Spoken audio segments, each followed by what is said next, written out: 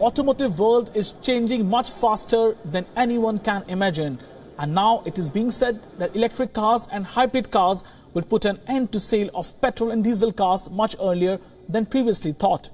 Study done by Stanford economist Tony Seba called Rethinking Transportation 2020 and 2030 says petrol and diesel cars will vanish in 8 years.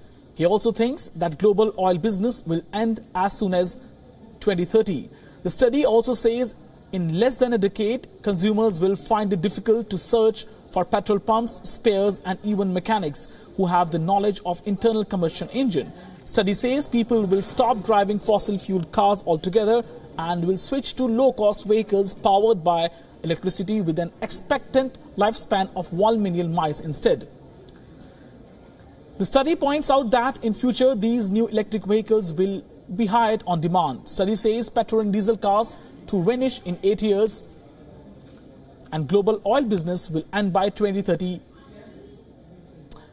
The Rethinking Transportation study also says it is difficult to search for, it will be difficult to search for petrol pumps in what in many years, in a decade, and spares and even mechanics will be difficult to find. By 2025, all new vehicles will be electric.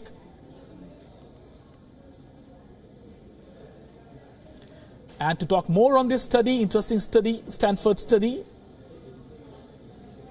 we are joined by our eminent guest here,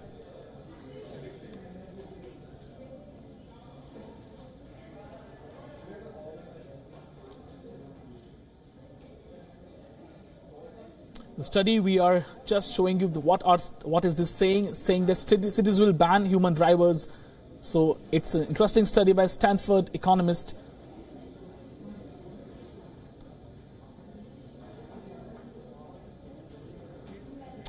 Let's talk about uh, uh, this, uh, sir, Mr. Murad Ali Baig, renowned author and automotive expert. Sir, first of all, this is being said in context of something's happening in the developed world where first France, then Germany, Britain, and now US is also somehow showing that uh, electric cars will be future and petrol or IC cars will be past. How soon do you think can happen? Can it happen in eight years actually? I don't think so. I think there's some uh, reasons to doubt it. You see, the auto pattern in different countries are different. One of the main limitations of electric cars is range because the battery packs at the moment can give you uh, uh 80 kilometers, 100 kilometers. Uh, now the Tesla are talking about 150 kilometers. But if you're going in, intercity, if you're going to, for trip to the countryside, you're going to the mountains, you're going to things, you want a car that has range. The electric cars don't have range, and it takes several hours to charge up between charges. So the, the, the battery pack is a, is a limiting factor. And in India, uh, we need a, a, lot of power goes into the air conditioning. Air, you need a good air conditioning system, let's face it. But don't you think that the electric cars, the future, the overall investment that is being made into electric cars is going to take away all that problems in some time, at least in a decade? Uh, eventually, answer is yes. Eventually, whatever happens elsewhere in the world, successful elsewhere in the world, becomes successful in India too.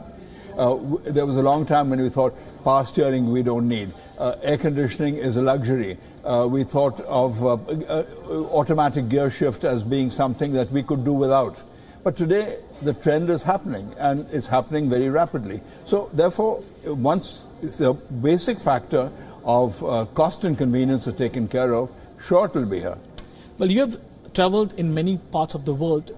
How is the infrastructure to support electric vehicles over there? Do you think that there also it's not that advanced that finally we'll say bye to petrol and diesel cars in the next one decade? Uh, it is not uh, uh, very widespread anywhere in the world.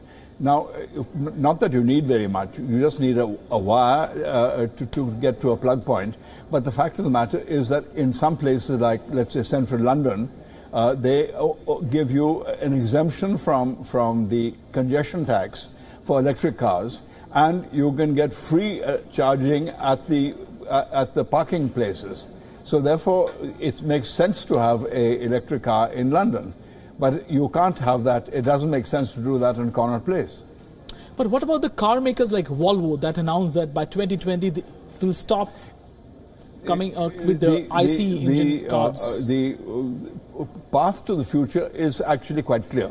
It's very, uh, it's very well known, and there's unarguable that an, that a internal combustion engine is inefficient. It spends 70% of its energy just making its crankshaft go, go around. Now, electric engine uh, motors are much more efficient. They have good torque. All the energy is spent outward in creating power for the, to the wheels. Uh, it doesn't waste any energy on anything else. Uh, it has much fewer uh, moving parts. It's therefore technically, uh, theoretically, much more reliable, uh, and theoretically will be less expensive. But currently, several of the, of the major aggregates that are the, the uh, lithium ion battery system, the special motors, and some of the electronic components are still very expensive to get. And unless the costs come down, the cost of the car will not be uh, very uh, affordable.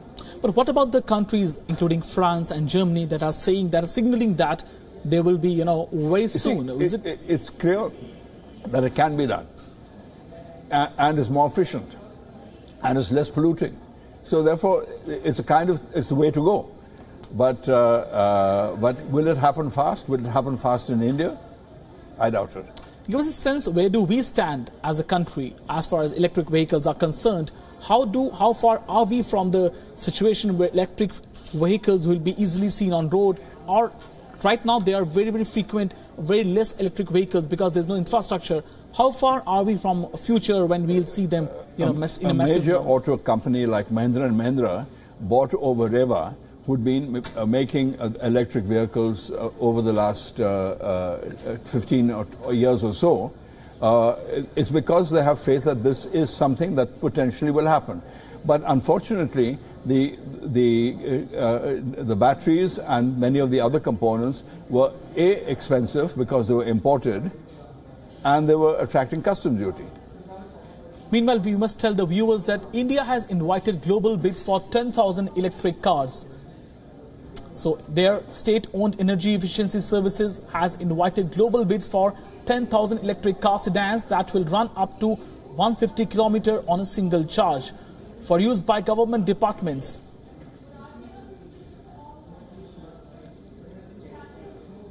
And uh, so coming back to you, Mr. Baig, uh, government is now pushing a lot for electric cars. Do you think that with the government's push and with the electric vehicles becoming cheaper, India is one of very few countries where homegrown electric vehicles are available. Do you think that it's really uh, you know, going to be in very near future because we have first enabling environment, at least a supplier base, at least a manufacturer. Second, government is too keen to push for this.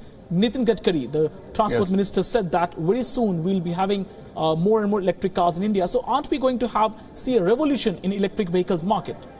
Um, Theoretically, yes. And I hope it does happen. But I don't think it's going to happen quite as fast as people anticipate because there's a Unfortunately, in India, we have seen that it takes a little time for a declaration of intent and the execution to actually happen. And, and, unfortunately, in India, we have a large number of authorities, not the least of which are the road transport authorities in every state. So, therefore, the rules have to change apart from everything else.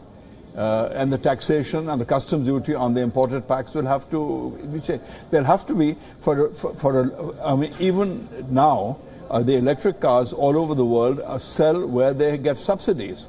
Uh, uh, initially, the government should give and needs to give a tax holiday to build up a, a, base. Once a base is built up, then they can gradually pick up the taxes. sure, no problem.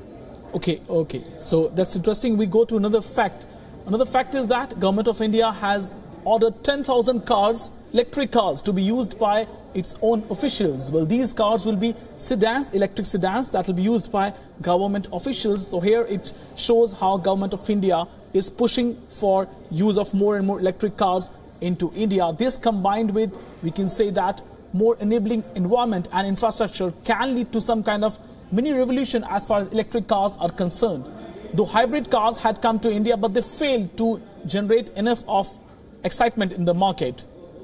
They're too expensive. Yeah, so we'll come back to that uh, question, Mr. Baig. Uh, hybrid cars came to India around in 2008 yeah. when first uh, affordable hybrid car Civic sedan came uh, and it failed miserably. Do you think that we are really away very far from that future? Hybrids like the uh, Toyota Prius, for example, were so expensive that in, in fact in many countries where they sold, they were not sold, they were, they were given out on lease because the actual cost was very high. So, you think that future so of... The, it's going to happen, but it's, it's going to take a little more time than I think we are anticipating. Okay. All right. Thank you so much, Mr. Baig, for getting us uh, all these details and this important perspective that was much needed. Thank you for talking to us. Thanks, Smith.